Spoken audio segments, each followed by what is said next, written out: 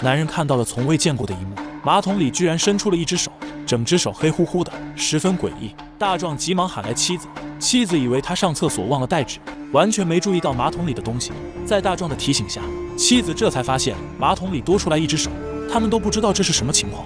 既然不是恶作剧，妻子决定体现出女人该有的责任，搞清楚这只手到底哪里来的。却黑的手上留着长长的指甲，妻子瞪大眼睛，死死地盯着。突然，怪手动了一下，吓得妻子当场昏了过去。还好大壮反应快，及时抱住了他。大壮把妻子拖到墙边，赶紧查看妻子的情况。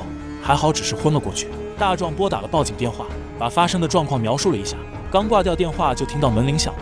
大壮只好起身去开门。这时妻子不小心倒在了地上，原来是小区保安。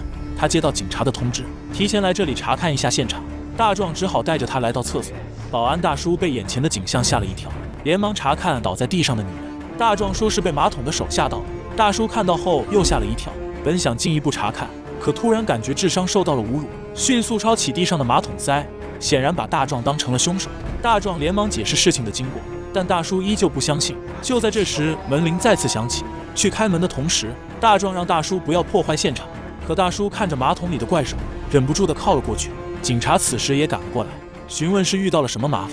大壮说：“马桶里出现了一只手。”虽然警察觉得很扯，但还是跟他去查看。刚到门口，几人就警觉起来，连保安大叔也躺在了地上。警察立即控制了男人，显然把他当做了凶手。经过小警员的确认，保安大叔已经领了盒饭。队长赶紧检查妻子，还好只是晕了过去。这时小警员发现了马桶里的手，男人也连忙解释他并没有杀人。队长让小警员掏出手机，拍下现场的一切证据。这时队长又让小警员把马桶的手掏出来。小警员戴上手套准备动手时，万万没想到的是，那只手突然一把抓住小警员。胖子迅速上前抱住了他，但还是无法把他救出。队长见状，赶紧上前帮忙，三人使出全身的力气才把怪手挣脱。可这时怪手开始不停地蠕动，还没等众人反应过来，扑哧一下抓住了胖子，把他高高举了起来。注意看，马桶里伸出一只怪手，一把抓住胖子的脖子，所有人当场愣住了。只见怪手把胖子高高举起，稍一用力，胖子就被扭断了脖子。还没等众人反应过来，怪手又缩了回去。看着怪手杀死的两人，队长连忙向大壮询问这手到底是什么。大壮也解释不清楚，队长只好让他去找救援。大壮却发现门打不开了，原来门外还有一只怪手。几人彻底被困在了厕所里。队长想打电话报警，结果手机也没了信号。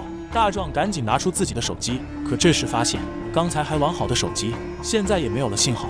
气得队长把他的手机直接投向了马桶，但手机一下被怪手接住，接着猛地扔了回来，直接插进了大门。这一幕同时也让队长想起了一件事：他们在几天前接到报警，在下水道发现了一具女尸，更恐怖的是，尸体还被砍掉了手。队长怀疑这只怪手就是那个女人的。就在这时，队长发现保安大叔的手也变成了怪手，还调皮动了一下。队长吓得瞪大了眼睛。与此同时，受伤的小警员也有点不对劲，只见他吐了一口番茄酱。两眼发白的倒在了地上，无论队长怎样抢救，小警员还是领了盒饭。到这时，他们才反应过来，所有被怪手抓过的人都会感染病毒致死。大壮赶紧翻出各种消毒水，没想到消毒水对怪手还真的管用。队长让他把妻子叫醒，然后准备进行反击。大壮好不容易叫醒妻子，妻子却被眼前的一幕吓得哇哇直叫。大壮反手就是一巴掌，妻子还不忘巩固一下自己的地位。大壮直呼手感不错。这时，队长把消毒水扔给大壮。让他去攻击怪兽，可就在这时，胖子苏醒过来，他已经变异成了丧尸。大壮只好转移目标，先对胖子进行攻击。小警员突然一把抓住队长的大腿，还没反应过来，小警员就咬了上去。大壮连忙把整瓶消毒水浇上去，这才把队长救了出来。但他也被感染了，不久后也会变异。在丧尸理智之前，他让大壮把手机点燃，利用爆炸打开大门逃出去。大壮纵身一跳。来到胖子身旁翻找打火机，他刚刚找到就被怪手一把抓住脑袋。危机时刻，他把火机扔向妻子。这个女人脱掉衣服，帅气的扔到一旁。她打开火机，用易燃喷雾勾出一道火焰，烧向怪手，成功救出了自己的老公。幸好大壮并没受伤。时间紧迫，大壮用火焰对着手机烧去，随着一顿炙烤，手机瞬间爆炸，大门被炸开了一个大洞。这是什么手机？大家能猜得出来吗？此时门外还有一只怪手。大壮对着他又是一顿烧烤，终于打开了大门，可他们却傻眼了，整间屋子都是这种怪手。两人连忙请教队长应对的方法，但此时的队长已经坚持不住了，随后也领了盒饭。就在两人一筹莫展的时候，一只怪手突然抓住妻子，大壮赶紧一脚踢向怪手，可怎么踢也踢不掉，最后还是用火柴把它烧掉。